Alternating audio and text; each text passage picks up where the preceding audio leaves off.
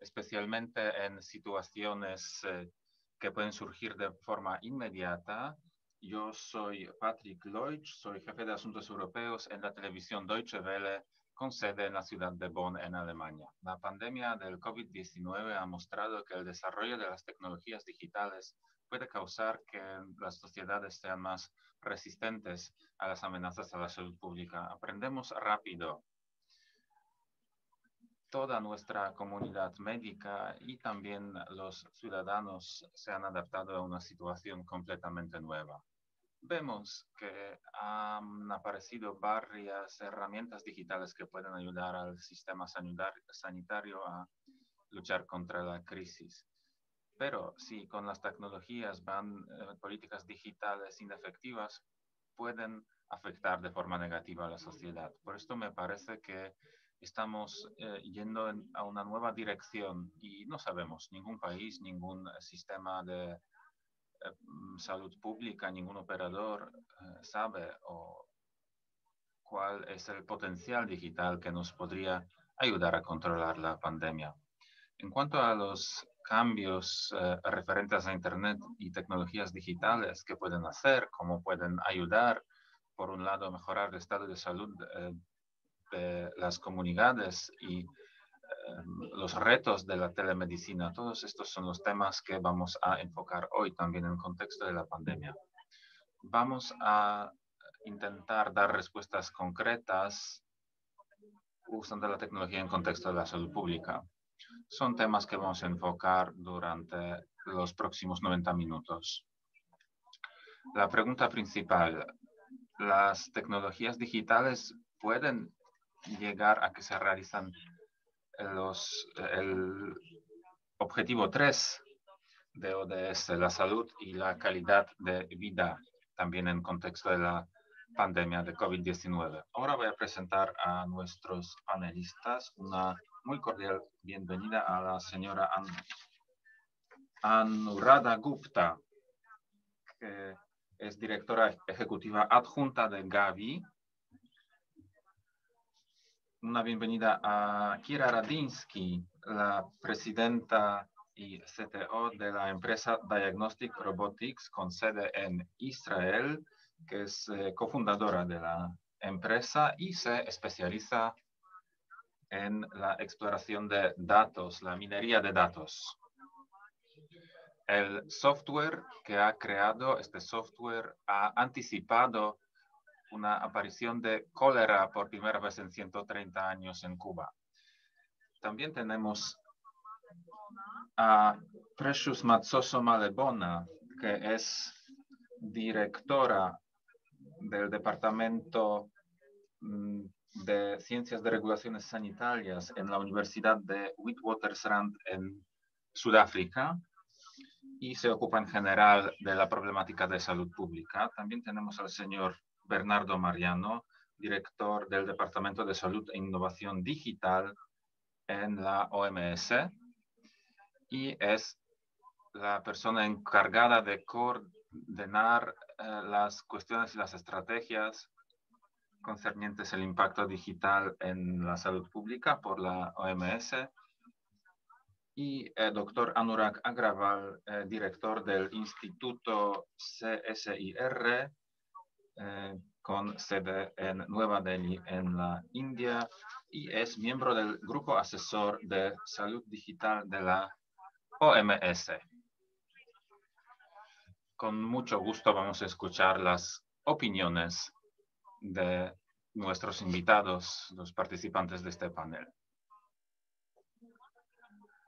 Por favor, eh, desactiven sus micrófonos cuando no hablen. Creo que todos vamos a ser expertos de estas, estos debates poco típicos tan frecuentes en estos tiempos. Muchas gracias por eh, participar en el panel. Bueno, eh, comencemos.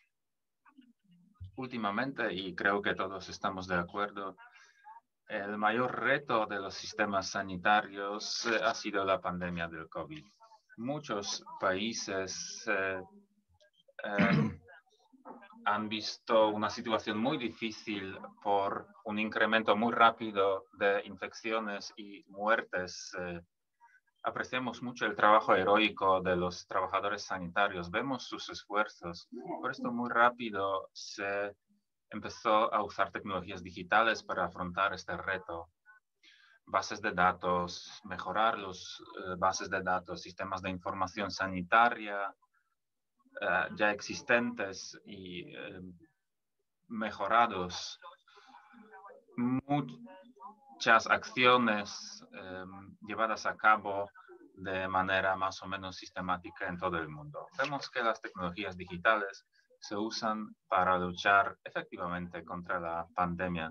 Así que, ¿qué experiencias tienen ustedes en este ámbito, cómo las tecnologías digitales hasta ahora han ayudado a los sistemas sanitarios en estos tiempos de pandemia tan difíciles.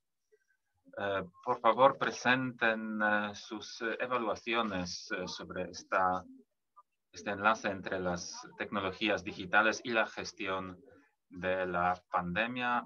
Primero, quiero dar la palabra al señor Bernardo Mariano, responsable de salud digital en la OMS. Bernardo, por favor, active su micrófono. Gracias, Patrick. Eh, buenos días y buenas tardes, buenas noches. Quiero empezar eh, diciendo que nosotros en la OMS eh, promovemos las tecnologías digitales en salud usadas de forma adecuada. ¿Qué quiero decir con la palabra adecuado? centrado en la gente, basado en confianza, éticos, eh, sostenibles, inclusivos y eh, con acceso equitativo. Además, deben estar en contexto apropiado al lugar donde se usa la tecnología.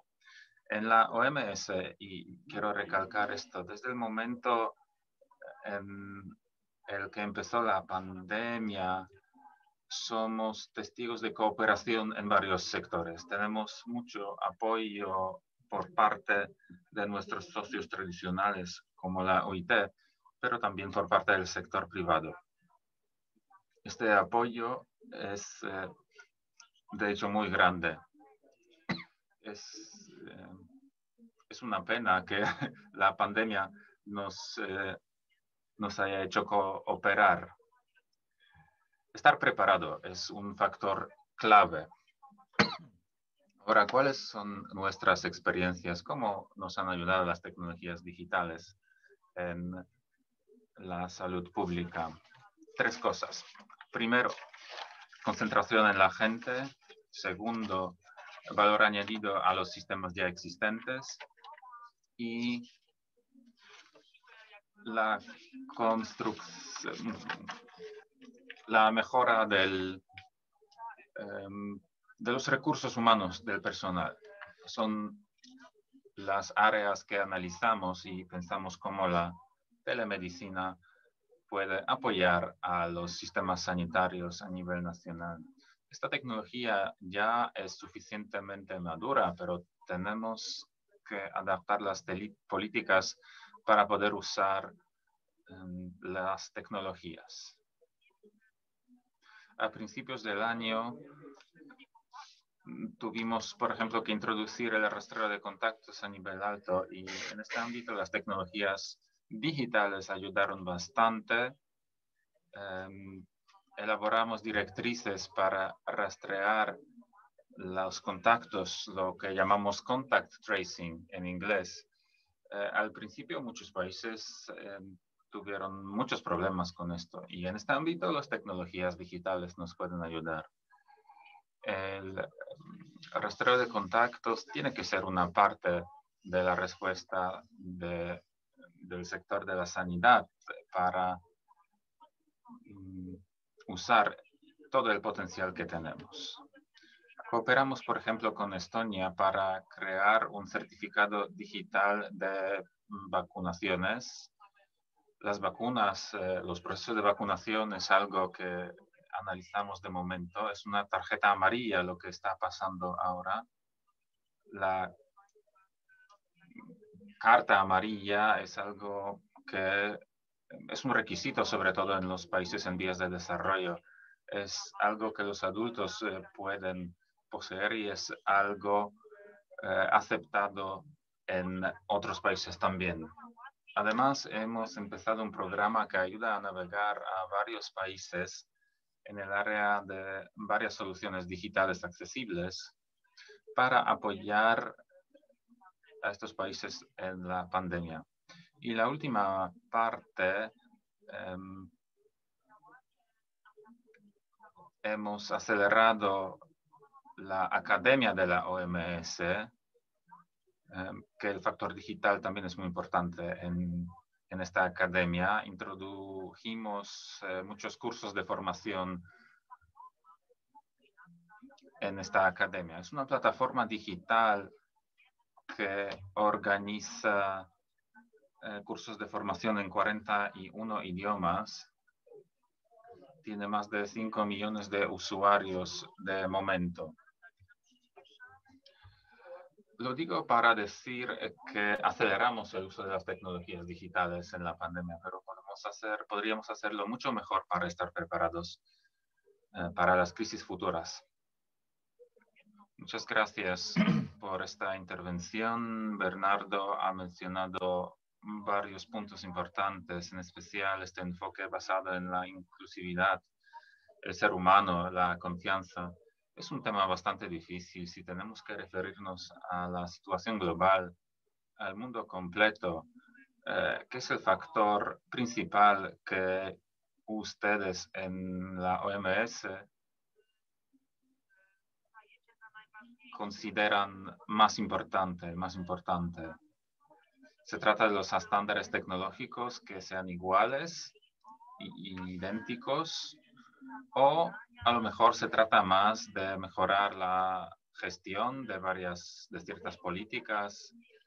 Ha dicho que la tecnología ya está, que los problemas están en, en otros lugares debemos entender que la madurez tecnológica de varios países es diferente y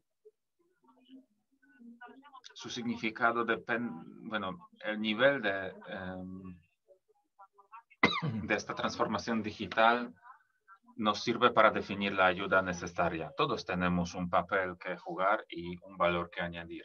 En la OMS miramos eh, cómo eh, qué hacer con, la, con el reto de interoperabilidad. Todos los países tienen este problema. El sistema sanitario se desarrolla en forma de silos y ahora el uso de las tecnologías digitales para apoyar a la salud pública requiere interoperabilidad. Ayer los países miembros aprobaron nuestra estrategia global en cuanto a la salud digital y queremos estar Em, seguros de que las inversiones en la salud digital nos eh, permiten seguir y continuar, porque distintos países están en distintas etapas eh, de avance. Hemos publicado un guía gracias al cual podemos recomendar a los países. Si estáis en este nivel de madurez, pues este es el camino recomendado para vosotros para que podáis mejorar el nivel de madurez. Así, de esta forma, entendemos que hay varios países en varias etapas y debemos colaborar para igualar este nivel de madurez digital. Muchas gracias. Y ahora me voy a centrar en uno de los aspectos que, que ha mencionado. Ahora me refiero a Kira, la cooperación con el sector privado es una cuestión muy importante y la pandemia ha acelerado todo esto en el sector de la salud pública. Hay más eh, relaciones con el sector público. Entonces, Kira, como presidenta de, una startup, eh, una empresa privada, Kira mm, había participado ya en, la etapa, en las etapas anteriores de la pandemia de, COVID-19. ¿Nos podrías comentar un poco más sobre esta relación de la salud pública y las empresas eh, privadas? Eh, ¿Dónde esta cooperación ha acelerado más y ahora se siente más cercana que antes? Sobre todo, nuestra empresa ha eh, creado sistemas para selección de pacientes. Es lo que hacemos desde hace varios años. Nos basamos en datos históricos de más de 70 millones de pacientes de Estados Unidos y de Israel. Nuestro sistema hace preguntas eh, selectivas para determinar lo, urgente que es cada paciente. La idea es de reducir el número de eh, tareas em, relativamente simples que los médicos siempre han tenido que realizar. Hemos notado que el nivel del uso, si puedo usar esta palabra, de los médicos ha llegado a la cima y ya no, no hemos podido seguir porque la población crece hasta el año 2030. Vamos a tener miles de millones de personas sin acceso eh, a los servicios sanitarios básicos. Tres horas y media es el tiempo de espera medio actualmente en los eh, países avanzados y eh, dentro de poco va a ser ocho horas en vez de tres y, media. Tenemos toda una población en, crisis y que debe someterse a la selección. El paciente debe saber a dónde ir, qué, qué hacer necesitamos aplicaciones de contacto para solucionar estos problemas, pero si nos permiten monitorear a los eh, pacientes, monitoreo clínico, por eso hemos eh, empezado a construir nuestro servicio de triaje y siempre cuando un paciente necesitaba interacción con el sistema sanitario, nuestro sistema hacía preguntas de triaje para prever dónde el paciente eh, debía ir. Em, desde el punto de vista del gobierno es importante poder anticipar las tendencias, eh, qué ciudades tienen una tendencia negativa y qué ciudad eh, deberá someterse a un confinamiento. El sistema, en base de la información del sistema, supimos las, dónde localizar las necesidades mayores. Por esto introdujimos un sistema de confinamientos variados gracias a estas herramientas que nos permiten tomar decisiones. Muchas gracias. Y para mí queda claro que su trabajo tuvo mucha importancia, que comenzaron esta colaboración con el sistema de atención sanitaria con anterioridad, pero ¿podéis observar alguna mejora en cuanto a ese tipo de relaciones entre el sector privado y el público? Yo creo que todavía queda muchísimo por hacer.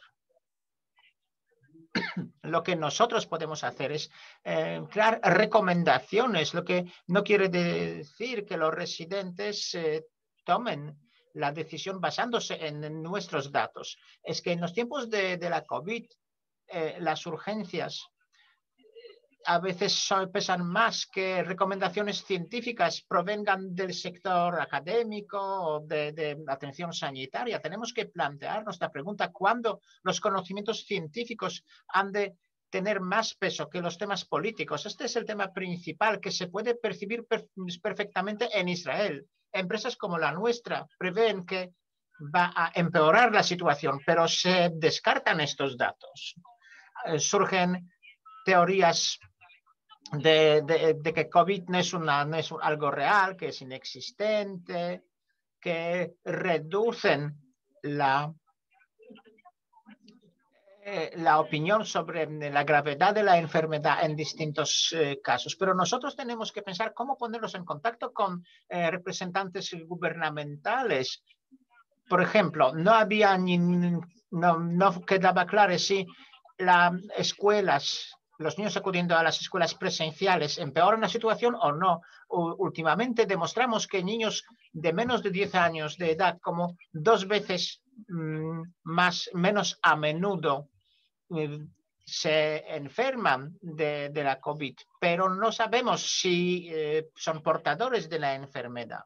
si pueden contagiar a los demás. Si no lo hacemos, no va a haber confianza entre el sector público y el privado. Muchas gracias. Parece que es un tema muy interesante la relación entre los investigadores, la parte gubernamental, cómo esto se relaciona con el nivel de confianza. Lo ha mencionado Bernard, Bernardo también, desde el punto de vista de salud pública. Esto esta confianza es un factor de mucha importancia desde el punto de vista tanto de los ciudadanos como de los políticos. Y ahora, en Sudáfrica, ¿cómo? Porque vuelvo a la pregunta anterior, a la experiencia con tecnologías digitales que se utilizaron a la hora de la lucha contra la pandemia. ¿Cuáles son tus experiencias? de los últimos seis o ocho meses. Muchas gracias. Buenos días, buenas tardes, buenas noches. Nuestras experiencias son las siguientes. Inicialmente creamos la estrategia de salud digital. Fue muy importante porque trabajamos duro para debidamente invertir, invertir de manera que permita surgir plataformas digitales adecuadas. Hubo distintos problemas en este camino. Primero, llevábamos años desarrollando estas inversiones teniendo registrados más de 30 millones de pacientes en el sistema digital, pero necesitamos mucho tiempo para arrancar el sistema a nivel nacional, para que en cada uno de los centros de atención sanitaria eh, haya acceso a este sistema.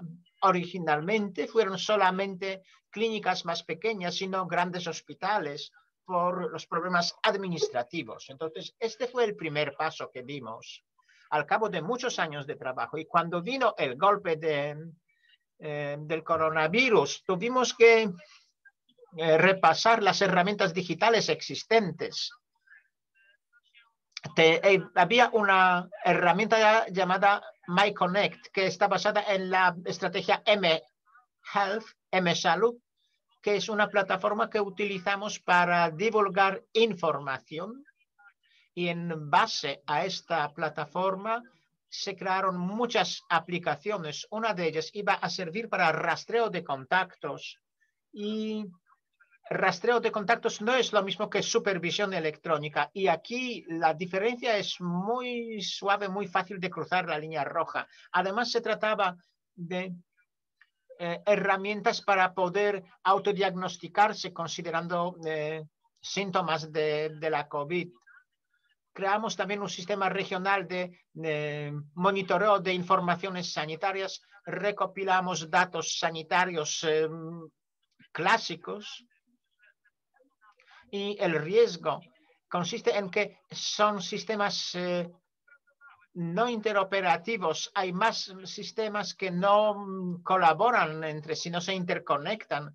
Y ahora puedo con mucha satisfacción hacer constar que todas las plataformas que desarrollamos durante todos esos años nos sirvieron, resultaron útiles. Conseguimos conectarlas entre sí, pero son herramientas que sirven no solamente para la sanidad, son herramientas que utilizo yo trabajando con los pacientes. El paciente mismo también puede eh, eh, hacer seguimiento de si tiene riesgo de contacto o no, si está contagiado. Cuando acuden a, a la consulta, saben que no constituyen riesgo para los demás, por ejemplo, gracias a estas plataformas, pero también hay otras herramientas como, como farmacias móviles. Y estas herramientas nos permiten evitar que los pacientes de forma innecesaria acudan a los centros, por ejemplo, para buscar sus eh, medicamentos. No tienen que venir a, la consulta. La, yo creo que hubiéramos debido invertir mucho más en la telemedicina. Lo hacíamos, pero solamente en ciertas regiones. Se trataba de esos centros eh, de excelencia. No fue algo muy divulgado. Yo creo que es una oportunidad que perdimos. Pero en caso de las unidades que trabajan aplicando estos sistemas modernos resultaron muy útiles a la hora de recopilar datos porque podemos rastrear a los pacientes, saber cómo logramos solucionar el tema de COVID, el número de pacientes hospitalizados, número de pacientes que tienen el resultado positivo de la prueba, el número de pacientes curados. Por supuesto, estamos ampliando estos sistemas y también queremos extenderlo a, los contagios de VIH que afectó mucho a nuestro país. Y esas plataformas nos sirvieron también para a la hora de la lucha contra COVID. Y también quiero llamar la atención a otros temas. Es que yo creo que hay demasiadas aplicaciones y entonces el riesgo consiste en exceso de información. Este exceso de información nos lleva a la desinformación, lo que em, quita importancia a nuestros esfuerzos en el ámbito de lucha contra la pandemia. Entonces, lo que necesitamos es un marco de gestión para saber qué es lo que tenemos, qué funciona bien, qué está comprobado, qué aplicaciones tenemos a nuestra disposición.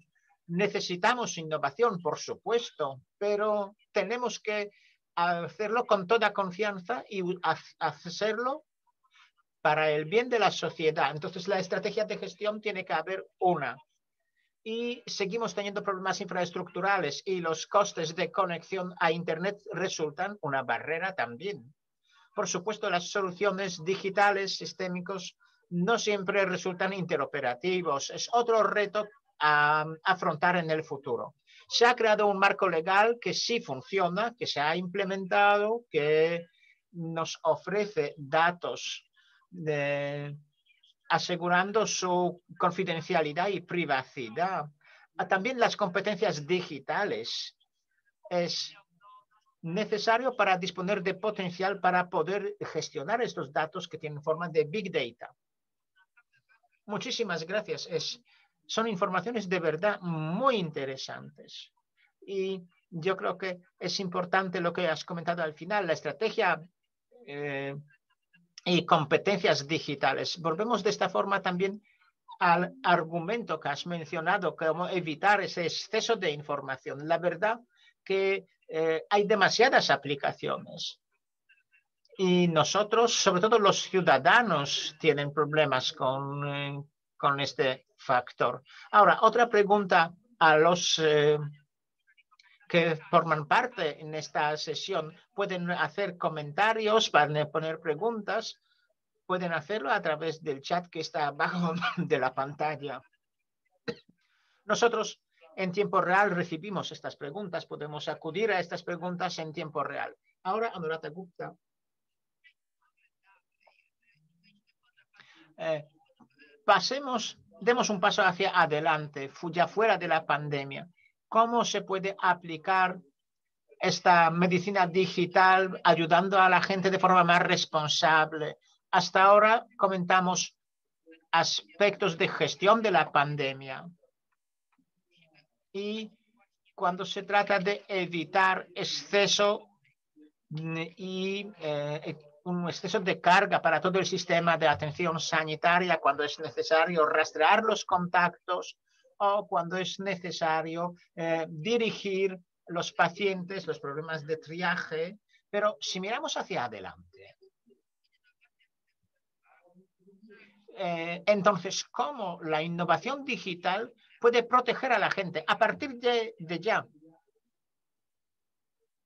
Gracias por esta pregunta. Yo, la verdad es que no creo que todo el mundo esté consciente que tenemos una enorme escala de operaciones. Nosotros prestamos apoyo a más de 70 países ofreciendo vacunación para 80 millones de niños en todo el mundo. 80 millones de niños que nacen en estos niños tienen que recibir vacunas anualmente. Y aquí nos limitamos únicamente a estas vacunaciones. Eso quiere, se traduce en 500 mm, eh, millones de, de inyecciones anuales. Son, es, la escala de la operación es enorme. Aquí hace falta también la mm, colaboración entre el sector público y el privado. En el año Gavi, eh, a partir del año 2015, trabaja en, de esta forma como eh, partenariado público-privado. Se trata de aprovechar la ventaja competitiva de la unión entre los dos sectores, lo que nos permitió aprovechar innovaciones, incluida la vacunación en todos esos países.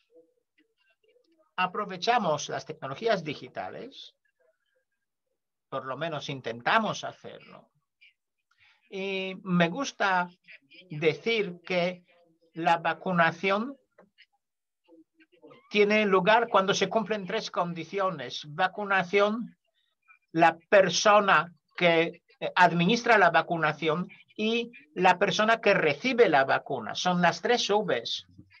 Si carecemos de uno de esos elementos, no se cumple el objetivo si, nos, si carecemos de la vacuna, de quien administre la vacuna o quien reciba la vacuna, no se cumple el, el objetivo. Utilizamos distintas tecnologías, incluidas las tecnologías digitales, para conseguir esta cadena. En cuanto a la vacuna misma, aprovechamos tecnologías digitales para garantizar un sistema adecuado de gestión, de logística de, la, de vacunaciones para saber poder rastrear la vía de transporte de esas vacunas y cuál es el grado de aprovechamiento de las vacunas. También surgieron otras innovaciones interesantes. Por ejemplo, eh, control de temperatura a distancia, lo que nos facilita datos y tenemos, disponemos de un sistema de monitoreo de temperatura.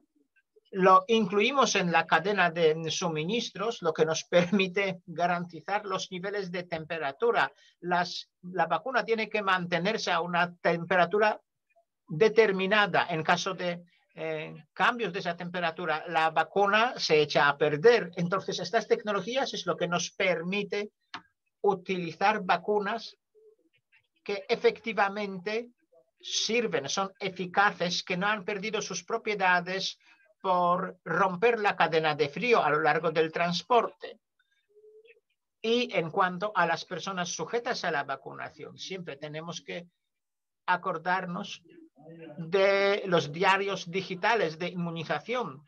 En muchos sitios los sistemas de sanidad carecen de, recursos que tampoco hay registro civil que pueda registrar los nacimientos y fallecimientos. Tenemos que saber cuál es la población. Los niños no tienen números de identificación, no están identificados en el registro. Entonces, registros digitales de vacunación son imprescindibles para que sepamos si los niños efectivamente reciben la, vacuna eh, a tiempo y con la vacuna adecuada. Además, se trata de mejorar el nivel de competencias de los centros. La persona que administra la eh, vacuna a menudo carece de esas competencias.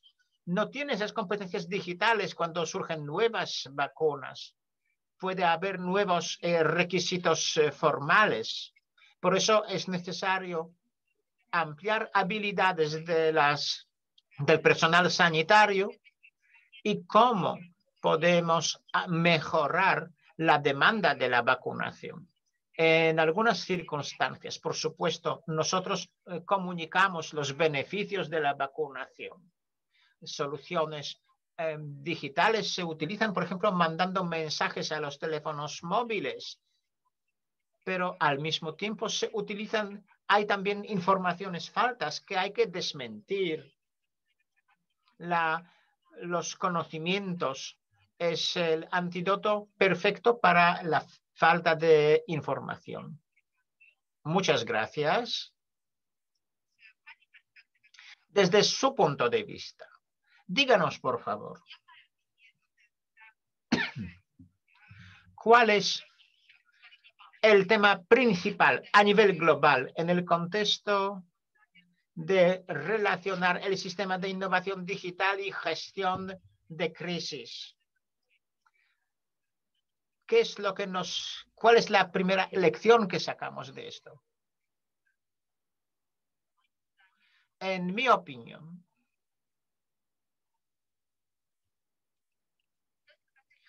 se trata sobre todo de contacto físico, porque en eh, una situación de pandemia, cada vez a menudo se habla de eh, confinamiento, de distanciamiento social, nos dimos cuenta rápidamente de distorsión de todos los sistemas de asistencia sanitaria en los países que apoyamos. Los servicios sanitarios se dieron cuenta que el sector de vacunaciones fue los más afectados porque surgieron, surgió preocupación entre eh, los tutores, las madres. Las madres no querían eh, vacunar a sus eh, niños. También el sector sanitario estaba preocupado. Entonces, todo este ecosistema quedó distorsionado.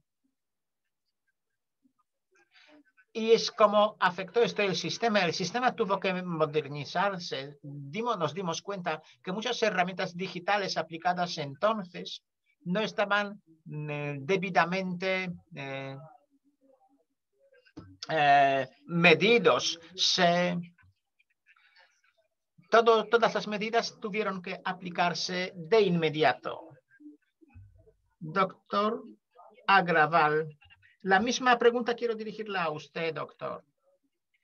Después de que los compañeros ya lo han presentado sus puntos de vista, ¿cuál es su opinión?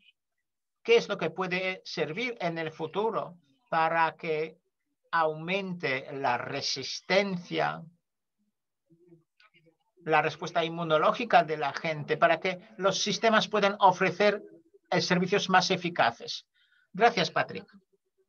Estoy de acuerdo con Anurada. Es decir, cómo las soluciones digitales pueden ayudar a la hora de funcionamiento de esos aspectos físicos.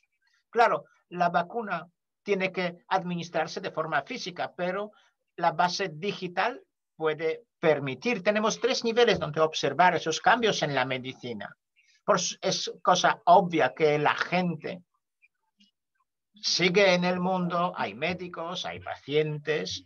La información puede transmitirse también a otro nivel. Al otro nivel tenemos al paciente que posiblemente esté digitalmente conectado. Al otro lado puede, mm, puede haber una persona física o un bot, una máquina pero y el tercer nivel son soluciones digitales, o sea, digital con digital. Es decir, excluyendo al, al ser humano. Muchísimas herramientas van a crear, muchas máquinas van a crear una imagen digital eh, utilizando algoritmos digitales y solamente encontrando información importante de transmitir, se va a transferir esta información en el ámbito donde trabajo yo, en la genómica, las soluciones digitales no es una opción, es algo imprescindible. No hay posibilidad de cambiarlo. Tenemos que ver con miles de millones de principios. Entonces, sin soluciones digitales es imposible. Y en los países como la India, el número de médicos por el número de, de eh, ciudadanos no se cumple. La OMS ofrece uno por mil habitantes, pero en los países como India no se cumple este eh, coeficiente y también la distribución no es homogénea. Y si, si esos sistemas digitales pueden prestar apoyo a, la gente. No tienen por qué saberlo ellos mismos, pueden simplemente aprovechar las soluciones y recomendaciones. Y cuando progresamos en esto, eh, nos adentramos, vamos a tener cada vez más ejemplos donde la posibilidad de entender al ser humano es lo que va a limitar a la medicina moderna. Posiblemente en un momento vamos a tener autonomía a los sistemas digitales, por lo menos en la genómica es lo que va a ocurrir. Lo que estamos haciendo se debe a planes digitales eh, bien elaborados en la medicina. No siempre podemos entender lo que ocurre, pero hacemos pruebas para asegurar que los sistemas funcionen. Estamos intentando hacerlo rápidamente. No hay nada más eh, posible de implementar rápidamente que los sistemas digitales. Esto es lo que a que vamos a dedicar nuestros esfuerzos para porque tenemos que centrarnos no solamente en la rapidez y en la escala, tenemos que saber si eso presta resultados eficaces en la realidad. Muchísimas gracias. Son, es una solución que se adentra en el futuro. Pero yo entiendo que desde su punto de vista, las soluciones digitales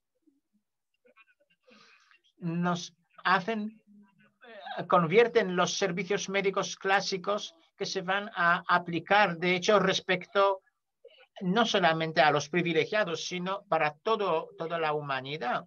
¿Cómo percibe usted este elemento relacionado con la confianza? Es un tema que ha salido al flote varias veces en este debate. Es una pregunta fenomenal. Si se trata de la confianza, puedo decir que cuando llegue el tiempo, los algoritmos dirán a los médicos que, deben hacer. Y esto va a tener lugar bastante pronto. Y en ese momento los médicos podrán ver los motivos, pero cuando vean los datos. Los pacientes tienen confianza a los médicos y los médicos tienen confianza a las eh, pruebas clínicas que ofrecen datos. Por esto, todo tiene que ser balanceado correctamente. De otra forma, es imposible. Hay que pensar en la manera de cómo dar los datos de forma rápida. El sistema va a ser bueno siempre y cuando se garantice la transparencia. Si todo es transparente y los médicos tienen información sobre los datos eh, de los exámenes médicos, sea mediante la tecnología blockchain u otra, eh, la transparencia será la base para la confianza y la confianza la base para el progreso. La transparencia es la palabra clave. Gracias. Usted parece totalmente convencido a la visión que nos presenta. Estoy mirando las preguntas en el chat y en el apartado cuya aparecen más y más preguntas y se centran en dos cuestiones. La primera, ¿cómo garantizar el derecho a la privacidad? En el contexto de la digitalización de los datos de salud. En mi opinión, es un reto. El debate eh, sobre este tema tiene lugar en todo el mundo. Incluso aquí en Alemania tenemos un debate intensivo sobre una aplicación simple de seguimiento de contactos eh, centralizada. Incluso aquí en Alemania fue difícil introducir al mercado esta aplicación. Y la segunda pregunta se refiere a la relación entre ecosistema, el ecosistema privado y público, porque tenemos que ver con un cierto aspecto de comercialización. Cuando miro estas preguntas, entiendo que tenemos que ver, bueno, no con eh, miedo o temor, pero con la pregunta, ¿quién controla la situación? Eh, si es el sector privado o público o la sociedad civil ¿Dónde está el centro de control? ¿Quién van a decidir sobre los estándares del futuro? Em, ahora pido a Bernardo que tome la palabra porque al principio eh, se ha referido al tema relacionado con la privacidad en contexto de la digitalización de los datos sanitarios. ¿Dónde está el reto, Bernardo? Gracias. El primer reto se refiere al hecho que las soluciones digitales y la salud son elementos que se someten a una cultura completamente diferente. La cultura de la monetización de datos es diferente que la cultura del paciente. Nosotros no necesitamos estas soluciones a primera vista. Y si tuviéramos que unir estos dos elementos, cómo encontrar un punto común de, estas dos, de estos dos extremos y cómo aprovechar el valor bueno para todas las eh, partes interesadas. La cuestión de la privacidad y de compartir o publicar datos, otra vez son dos extremos. ¿Cómo podemos garantizar que sea provechoso para nosotros el uso de datos sanitarios para mejorar los resultados sanitarios, al mismo tiempo no dañando a la gente, porque la regla es, en primer lugar, no hacer daño. Es la base del trabajo de cada médico. Por eso nosotros sugerimos en la estrategia global de salud digital, marcos que deben regular el uso de los datos digitales sanitarios. Es lo que necesitamos implementar para hacer referencia a la cuestión de la privacidad y permitir que las tecnologías digitales puedan, usando esos datos, ofrecer beneficios de salud que todos esperamos eh, sin eh, violar la privacidad o las cuestiones éticas. Nuestra estrategia dice que la, gente lo entiende y ahora construir un ecosistema de confianza adecuado se relaciona no solo con las asociaciones público-privadas, hay que crear un vínculo entre el mundo científico y la sociedad civil. Todas las partes interesadas deben participar. Nosotros en la OMS hemos creado la red de las redes porque hoy tenemos eh, cierta cultura y eh, quiero comentar un poco más sobre esta cultura.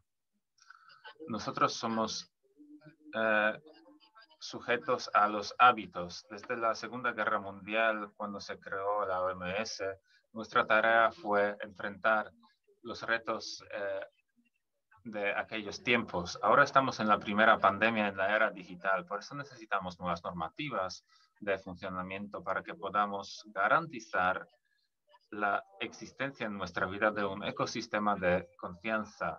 La fuerza de la OMS se relaciona con crear elementos interrelacionados y coherentes en el ecosistema.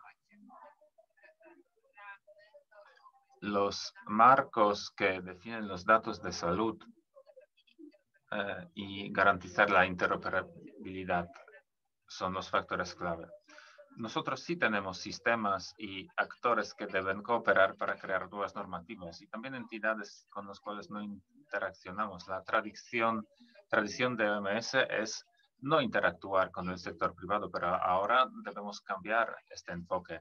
Por eso tenemos dos extremos para... Eh, tenemos eh, que encontrar algún acuerdo entre estos dos extremos. Muchas gracias, eh, Bernardo, por esta explicación tan clara. Gracias por tus experiencias. Eh, claro que es muy importante tener una estrategia de salud digital. Estas son las direcciones de varias cuestiones que se están preparando para el periodo de la pandemia, sin olvidar que tenemos eh, este tipo de estrategia de salud digital que nos da un marco para elaborar nuevas aplicaciones. Y ahora si usted podría decir dónde están las partes interesadas más importantes para diseñar y crear la confianza de estas aplicaciones desde el punto de vista de la protección de datos.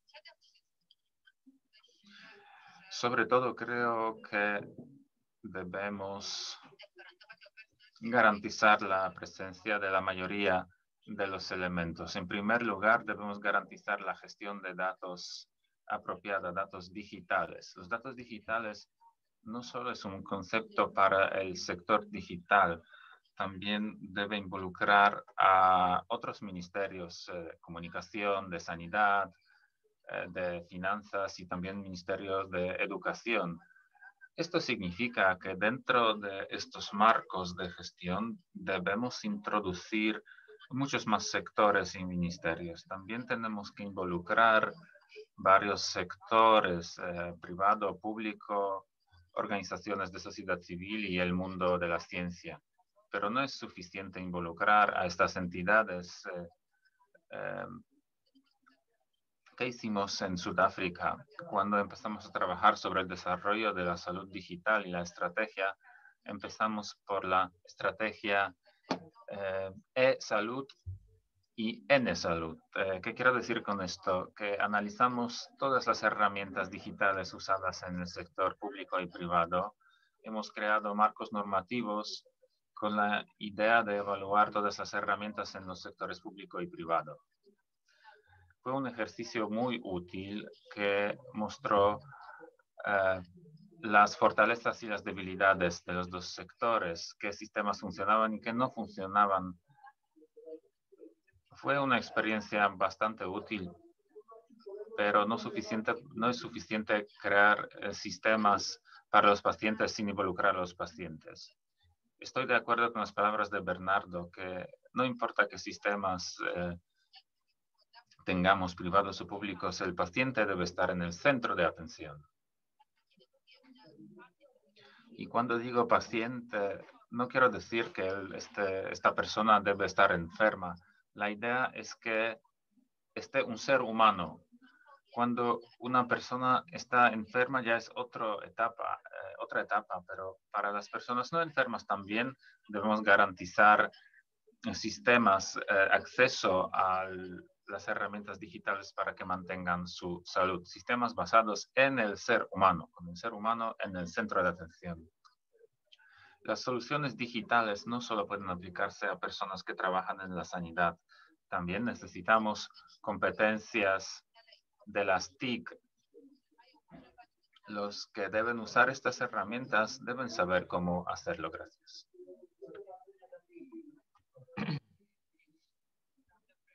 Gracias, Precious.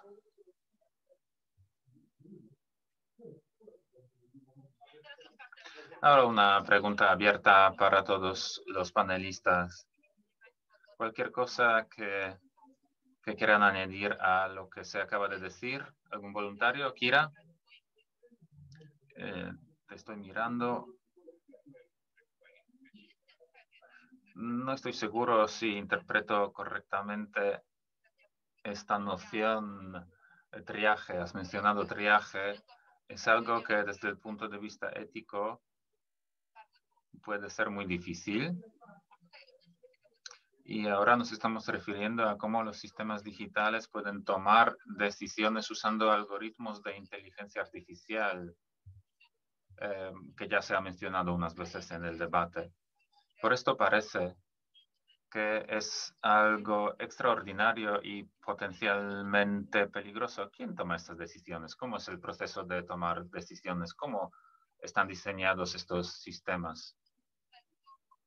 Yo como ex periodista, a mí me interesa este argumento.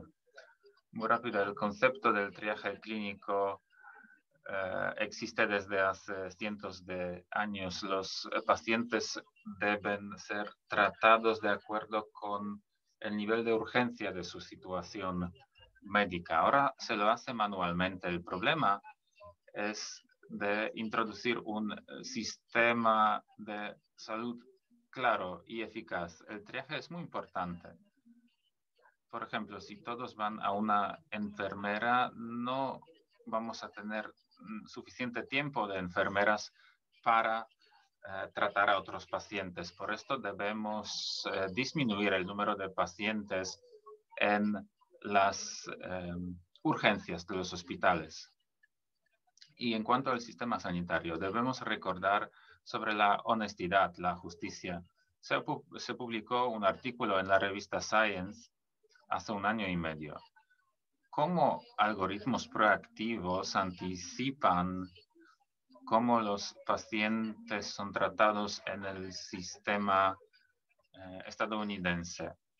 Y resulta que muy a menudo los pacientes en los años pasados no disfrutaban de, mm, de un cuidado adecuado por los sistemas de salud.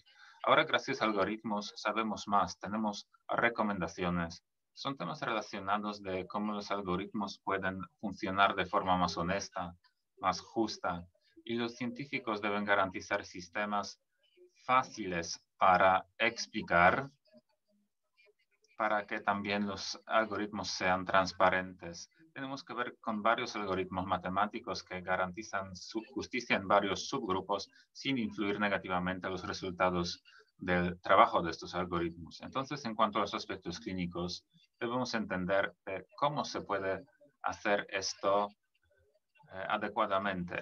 Nosotros eh, a menudo perdemos la lucha en cuanto a la escala. Y como se ha dicho antes, por, eh, lo dijo Anurak, me parece, en cuanto tengamos un sistema basado en millones de datos, pasaremos a soluciones más digitales.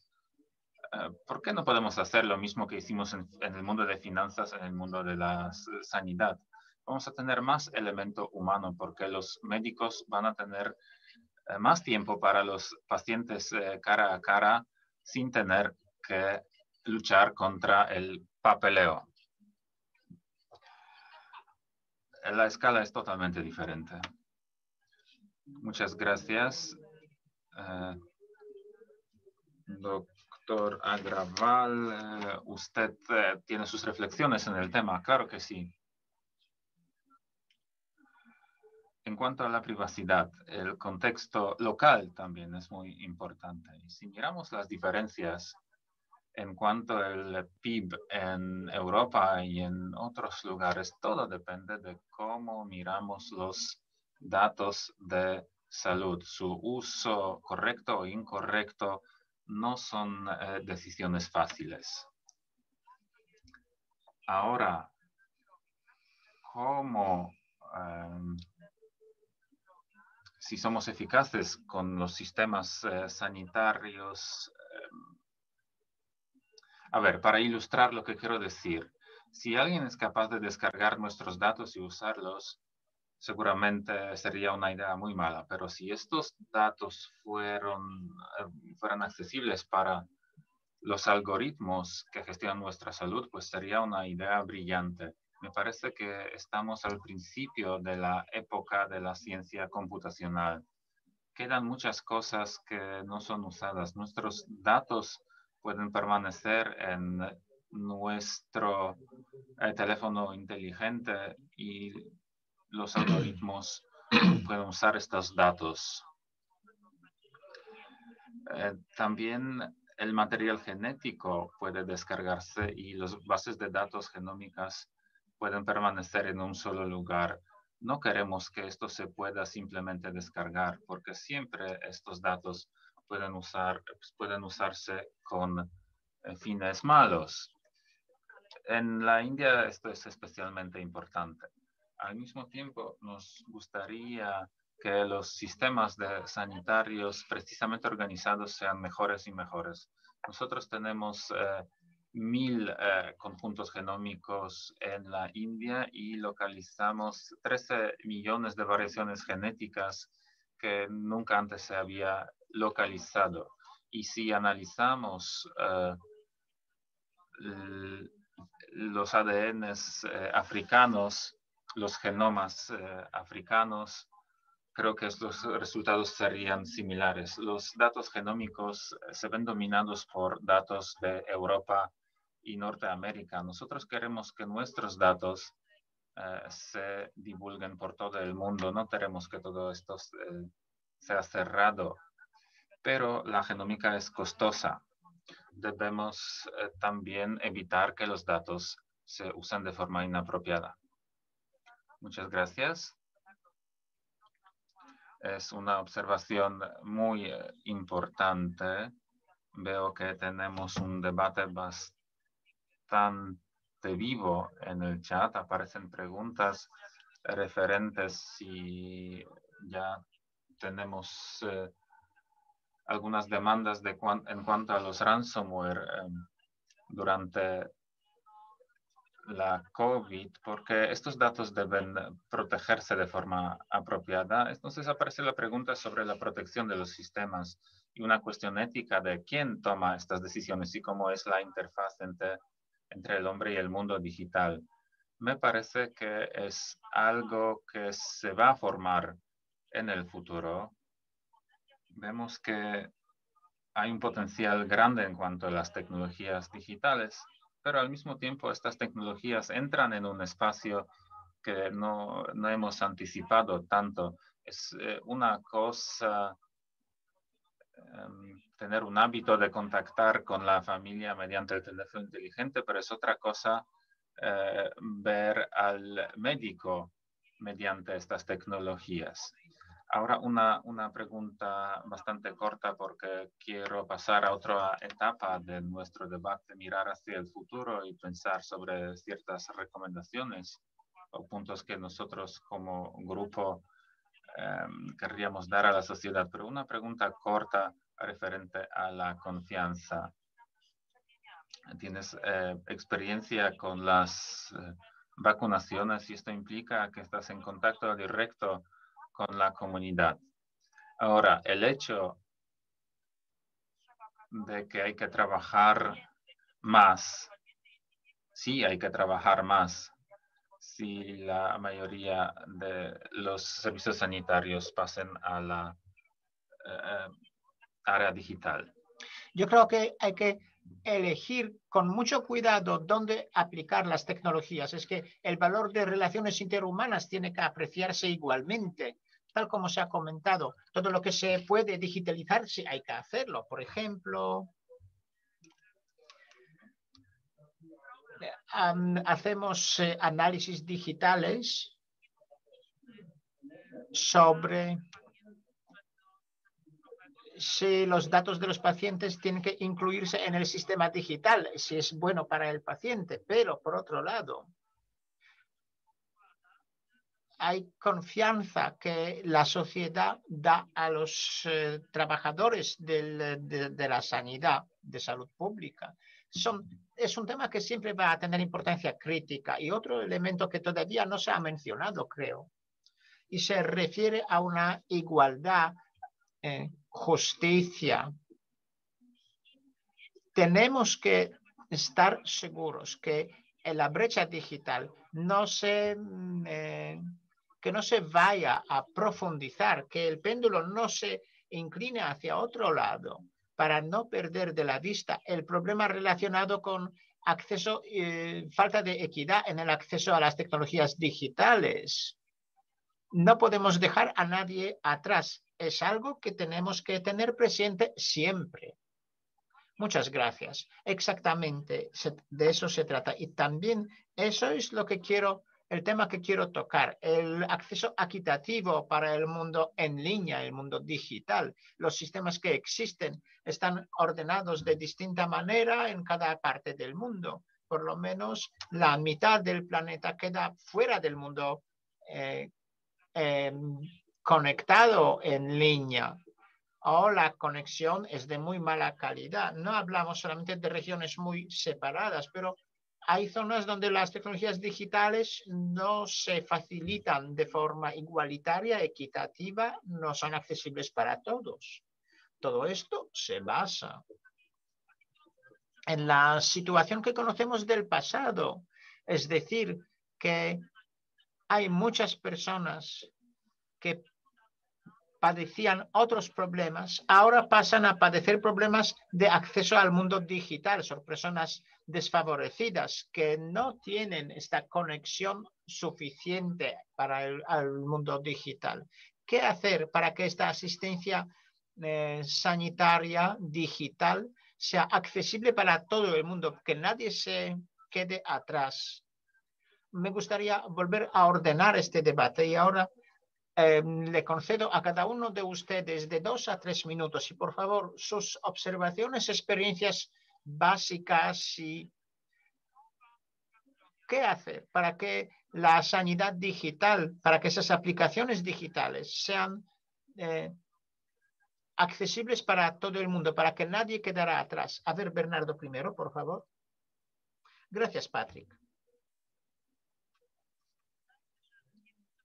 Yo creo que algunos de los panelistas ya han tocado el tema de qué hacer,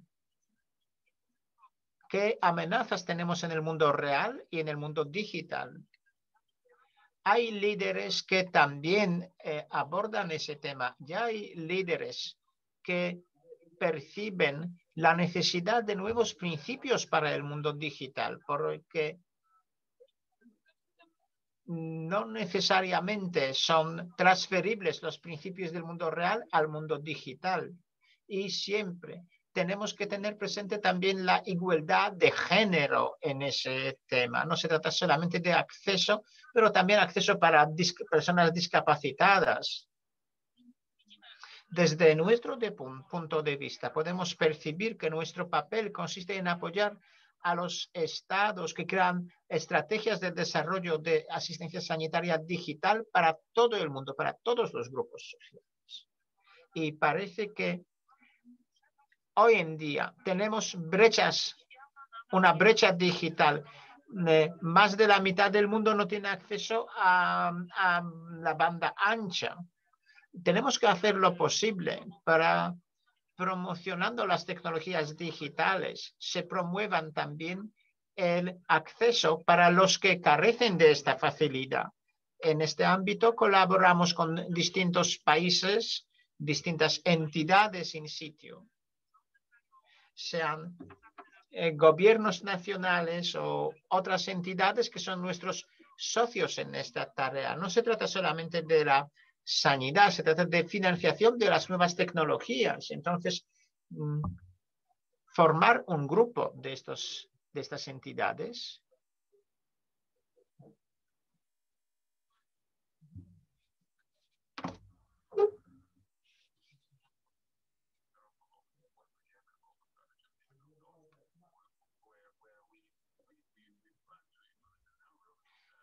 donde estamos intentando implementar distintas soluciones, marcos, tecnologías para asegurar los beneficios que son necesarios. Entonces, sí, reconocemos que no tenemos eh, acceso egalitario y a cada nivel también el nivel de la comunidad internacional. No podemos olvidarnos de que las personas, los trabajadores de locales necesitan competencias y conocimientos, habilidades para poder dar otro paso hacia adelante.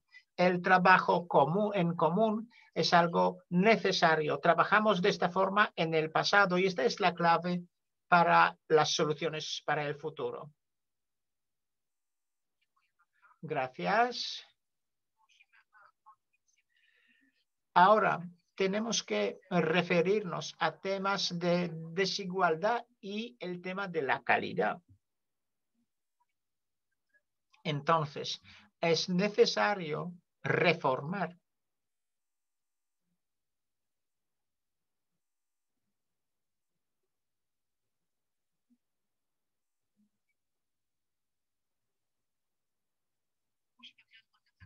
tenemos que garantizar soluciones eh, legales adecuadas y ese tipo de soluciones, estas inversiones en las habilidades humanas para mejorar las habilidades es un tema muy importante. Su importancia radica en la necesidad de seguir el paso a la revolución digital. Lo que ha comentado Anurada en los países donde existen esas necesidades básicas, existenciales, sin cubrir, tenemos que ver con, de repente vienen las tecnologías high-tech y eso nos permite mejorar la calidad y ofrecer asistencia sanitaria adecuada. Es lo que puede garantizar que el sistema de asistencia sanitaria esté transformándose. El que conocemos es necesario modificarlo para que mejorar la accesibilidad de los servicios.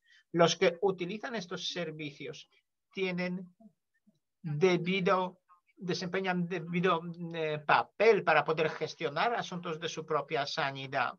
No tener que acudir a la consulta con el problema más pequeño que, que les surja.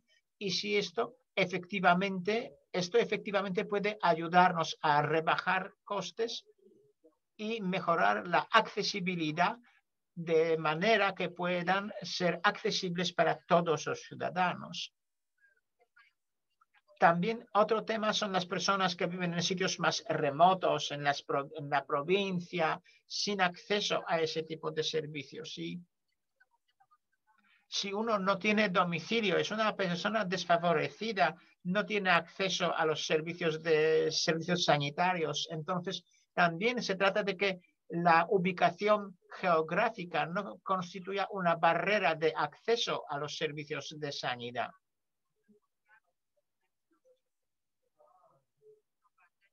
Se trata de mejorar la eficacia de tratamiento ofrecido a los pacientes, siempre disponiendo de estas herramientas em, informáticas y digitales que estamos comentando. De esta manera podemos mejorar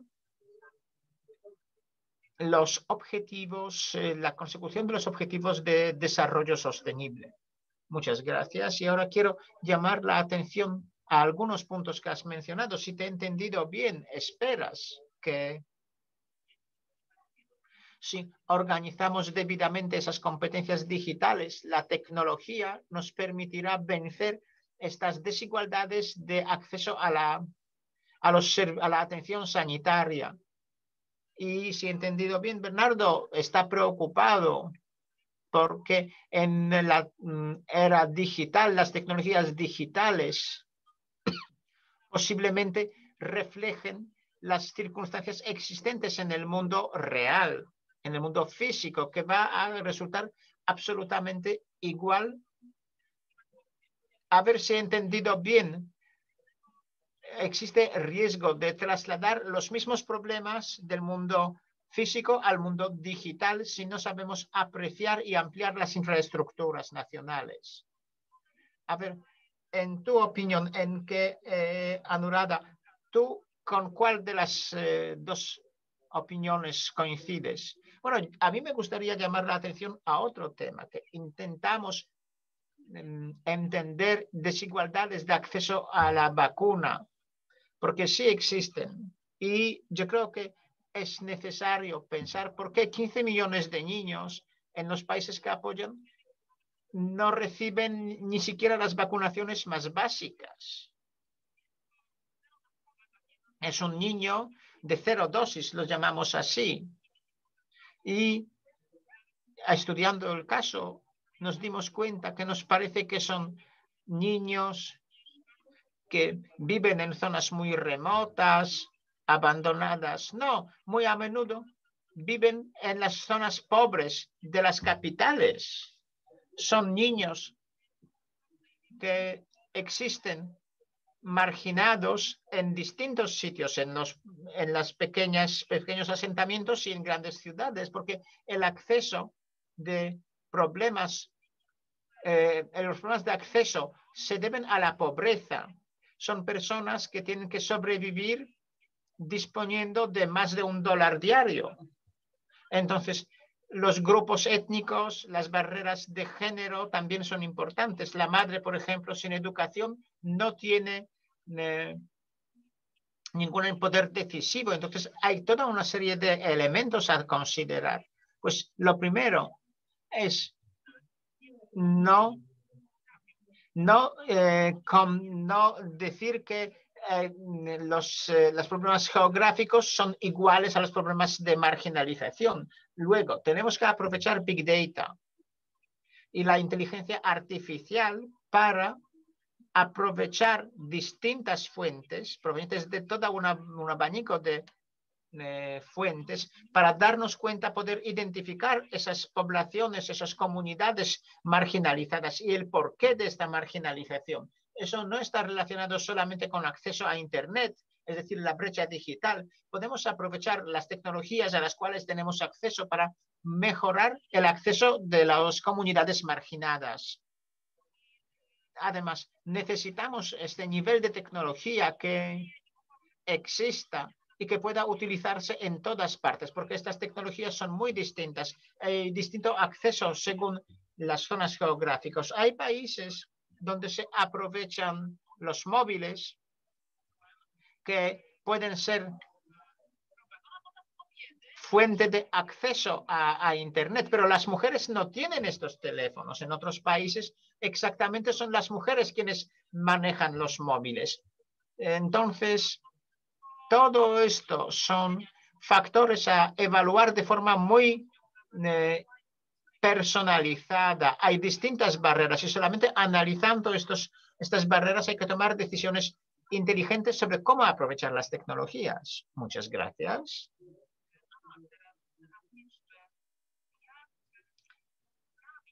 Eh, una vez más, ¿qué hacer para que los servicios de atención sanitaria estén accesibles para todo el mundo? Me gustaría comenzar eh, comentando lo que decía Precious. ¿Qué hacer para que los pacientes no acudan a la consulta sin necesidad? Yo creo que es un elemento clave de los sistemas sobrecargados en la India. El paciente en general pasa unos pocos minutos con el médico en la consulta y hay que aprovechar al máximo este tiempo el tiempo que pasa con, con una persona ya formada, habilitada, entonces hay mm, problemas sanitarios que pueden solucionarse sin moverse de casa. Y en cuanto al acceso digital, tenemos que ayudar que sea un acceso barato, económico. Eh, que es algo eh, creado por el gobierno. ¿Y cómo han de hacerlo los gobiernos? Bueno, ya es una pregunta a dirigir a personas que especializadas como es Bernardo. Pero también tenemos que actuar de forma internacional, pero también en colaboración y aportación por parte del sector privado. Yo entiendo, Bernardo, que al fin y al cabo va a haber distintos productos que no van a resultar accesibles para todo el mundo no importa cómo se llamen, pero esas buenas prestaciones, buenos servicios han de ser accesibles para todo el mundo. Digo, de una calidad suficiente, satisfactoria, para que por lo menos en la atención básica los pacientes tengan acceso sin necesidad de salir de casa, sin eh, perder tiempo.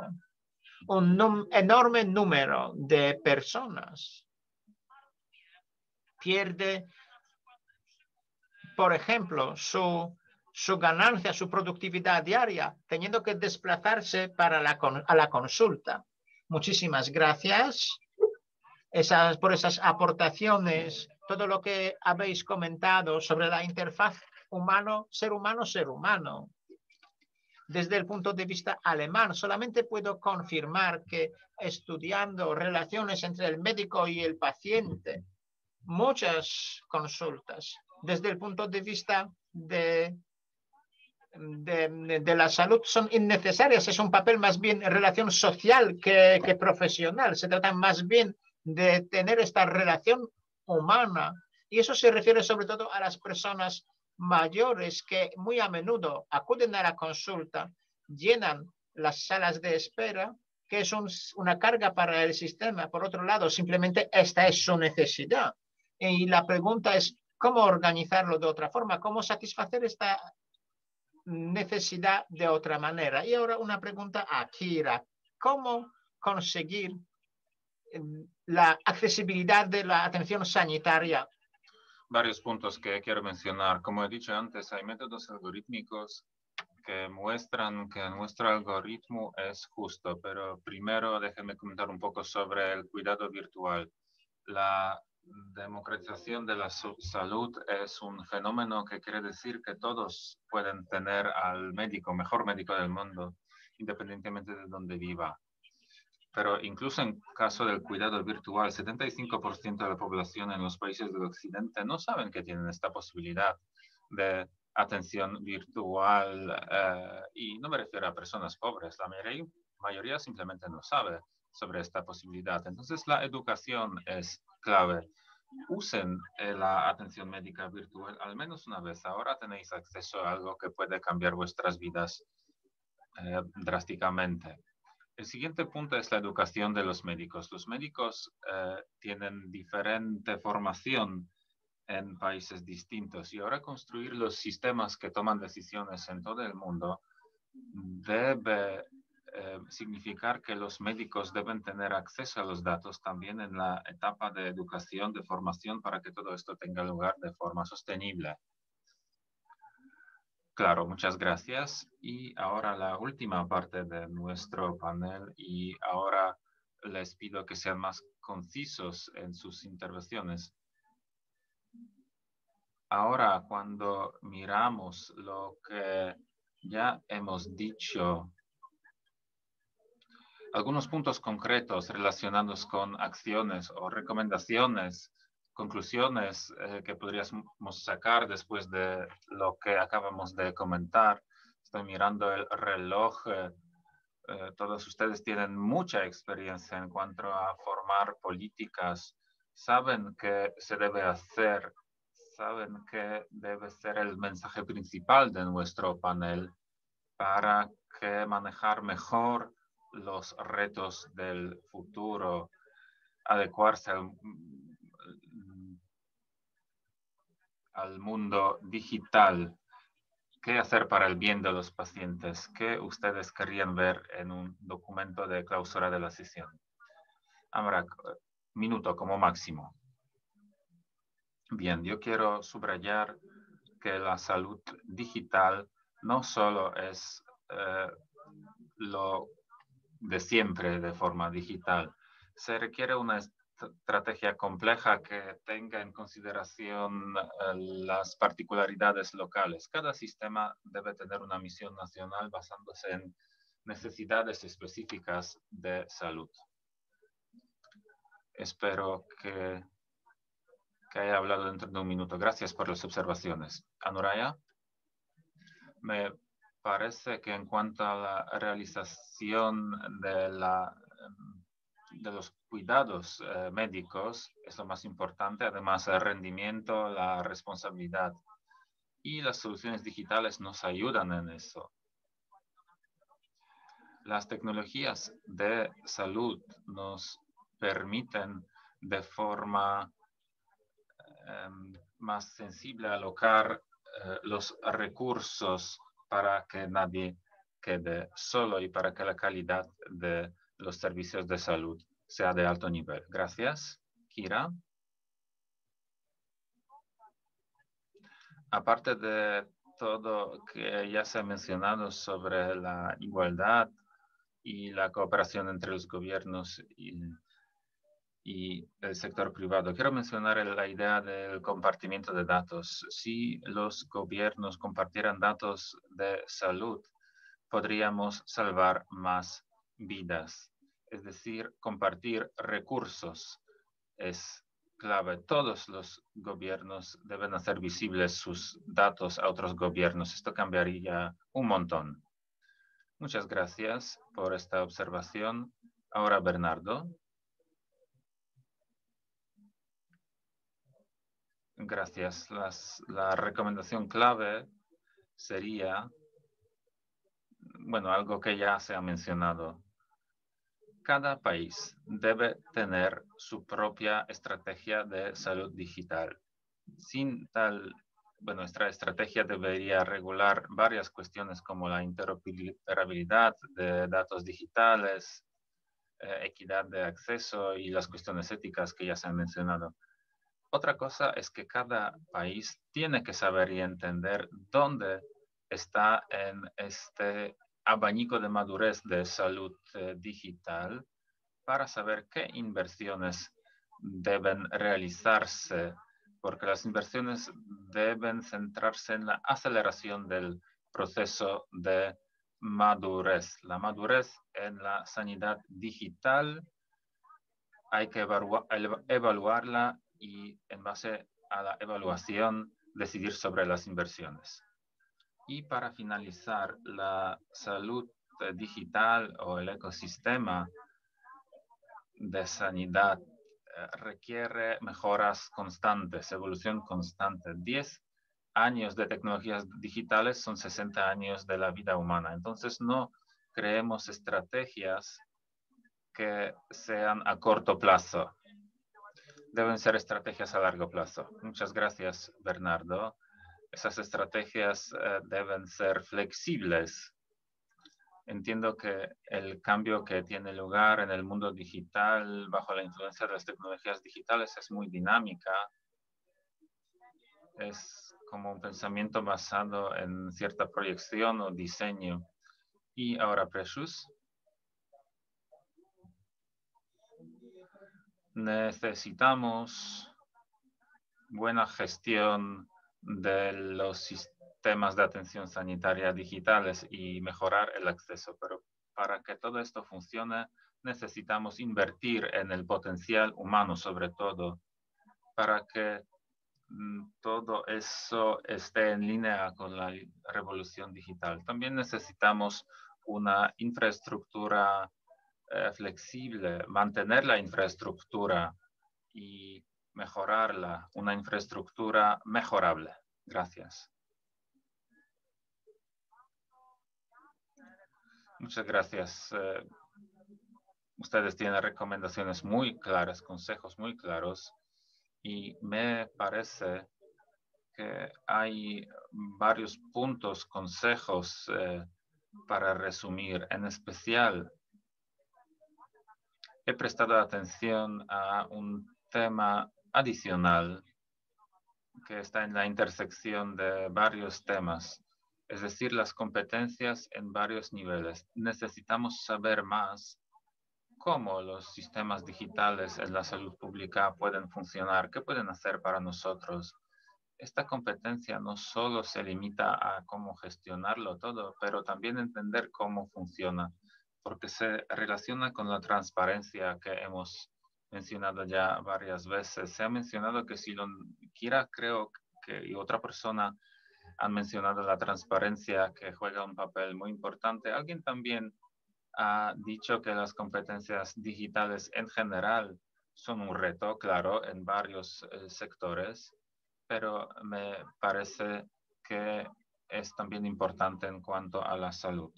Bernardo ha dicho que nosotros aquí estamos juntando dos culturas diferentes. Por una parte, la salud que se basa en gran parte en las relaciones interhumanas y por otra parte, tenemos el mundo digital y parece que estas dos culturas son muy alejadas una de otra. Para mí es una observación muy, muy interesante porque esta unión de culturas es algo que no se menciona a menudo, pero cualquier operador del sistema, para cada uno que tiene que ver con este tema, sea médico o investigador, científico o paciente, esta unión no es fácil, eh, incluso desde el punto de vista de los decisivos gubernamentales. Ahora les quiero agradecer esta sesión em, de mucha inspiración. Gracias por dedicar eh, su tiempo. Todo ha sido grabado eh, y va a ser publicado en el canal de IGF en YouTube y también en nuestro canal de televisión. Muchas gracias también por las preguntas, observaciones, comentarios en el chat. Eh, he explicado una parte eh, ya. Eh, es muy interesante leer sus opiniones sobre estos temas tan complejos. Muchas gracias también a los organizadores y a todo el equipo organizador. que tengan un buen día y espero que la próxima sesión del IGF, bueno, es un formato muy interesante, pero espero que de todas formas la próxima conferencia sea más presencial, porque las reuniones eh, en el mundo físico espero que no desaparezcan después de la pandemia y espero que tengamos una oportunidad de vernos en persona para seguir con, nuestra con nuestro debate. Muchas gracias.